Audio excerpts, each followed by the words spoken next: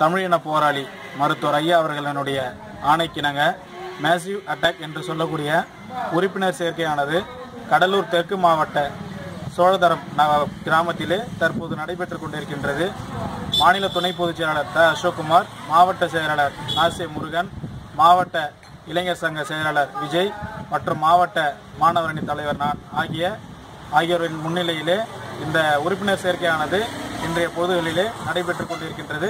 இந்த சோதரம் என்கிற கிராமத்தில் ஐநூறுக்கும் மேற்பட்ட உறுப்பினர்களை இன்று சேர்த்து ஐயா அவர்களிடத்திலே சமர்ப்பித்து ஒரு மிக பெரும் எழுச்சியையும் வளர்ச்சியையும் இந்த பகுதியிலே நாங்கள் கொண்டு வரும் என்று உறுதியளிக்கிறோம். நன்றி வணக்கம்.